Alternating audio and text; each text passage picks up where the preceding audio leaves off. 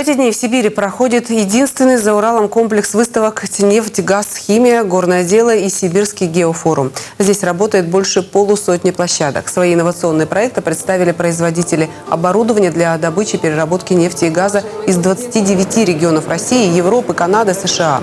Посетителям показали, как кокосовая скорлупа помогает ликвидировать техногенные катастрофы. Абсорбент из этого материала используют для поглощения разлившейся нефти. Один из уникальных экспонатов выставки – макет мобильных резервуаров для нефтепродуктов. Такие резервуары будущего позволяют оперативно создавать нефтебазы и полевые склады горючего даже в самых труднодоступных регионах. Кроме того, на выставочных стендах представлено геодезическое и навигационное оборудование, приборы учета расхода жидкости и тепловой энергии и модульное вахтовое жилье из энергосберегающих материалов.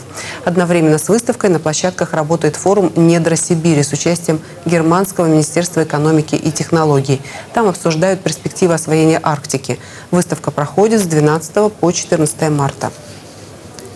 Это крайне важно. Во-первых, это возможность рассказать о регионе, о тех проектах, которые здесь можно реализовать. Это знакомство с компаниями, которые предлагают самые новые технологии, как в области извлечения, так и добычи полезных ископаемых.